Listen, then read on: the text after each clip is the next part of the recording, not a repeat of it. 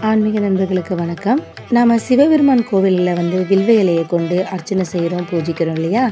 அந்த வில்வ இலையோட மகிமைகளை பற்றி இப்பதிவின் மூலம் தெரிஞ்சுக்கொள்வோம். சிவபெருமானுக்கு உகர்ந்த இலையாக வில்வ இலை போற்றப்படுது. வில்வம் கொண்டு ஒருவன் வந்து உண்மையான பக்தியோடு சிவ பூஜை செய்தால் அந்நிமிடமே அவனுடைய அனைத்து பாவங்களும் பொசுங்கி விடுமாம். வில்வத்தின் மகிமையை நம்ம தமிழ் சேக்கல்ல பார்க்கலாம். கூவிலம் ஒன்று சாத்தின் குலவு சாலோகம் ஆகும். கூவிலம் இரண்டு சாத்தின் குலவு சாமீபம் ஆகும் கூவிலம் மூன்று சாத்தின் குலவு சாரூபம் ஆகும் கூவிலம் நான்கு சாத்தின் கூடும் சாயும் சந்தானே. அதாவது சிவபெருமானுக்கு பில்வம் ஒன்று சாத்தினால் சிவலோக பதவியும் இரண்டு சாத்தினால் சிவன் அருகில் இருக்கும் பாக்கியமும் கிடைக்கும். மூன்று சாத்தினால் அவன் உரு பெறலாம். நான்கு வில்வ இதழ்கள் சாத்தினால் அவனுடன் ஐக்கியமாகலாம் என்பர் பெரியோர். வில்வமே புனிதனாகும். விளம்பு வில்வத்தின் மிக்காம். வில்லமுள் சக்தியாகும். வில்வத்தின் கோடி வேதம் வில்லவேர் பதினோர் கோடி வீணத்துறையாகும் வில்லமேத்துனர்க்கே தேவர் மெய் வடிவமாகும் அன்றே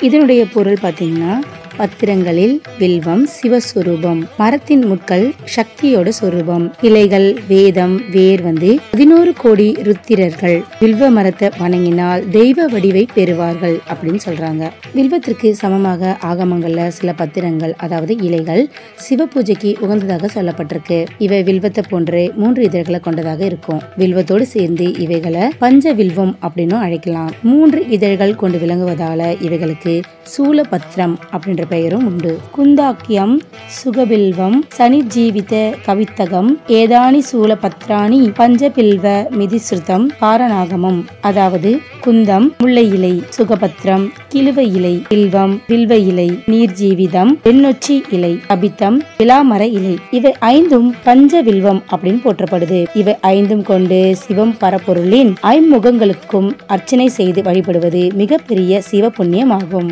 மேலும் முல்லை பத்திரம் இல்லனா மாவிலங்கை பத்திரம் பயன்படுத்தலாம் அப்படின்னு புஷ்ப விதி அப்படின்ற நூல்ல குறிப்பிட்டிருக்காங்க. வில்வம் கொண்டு ஒருவன் உண்மை பக்தியோடு சிவ பூஜை செய்தால் அந்நிமிடமே அவனுடைய அனைத்து பாவங்களும் பொசுக்கப்படுது அப்படின்னு சொல்றாங்க. பரமனுக்கு அர்ச்சனை செய்த வில்வத்தின் மகிமை பயனால தான் தாய் தந்தை நண்பன் கர்ப்ப சிசு குழந்தை இவர்களை கொன்று தீங்கிழைத்த பாவங்களும் மற்ற அனைத்து வித பாவங்களும் தோஷங்களும் அப்பொழுதே அக்கணமே நீங்குகின்றது.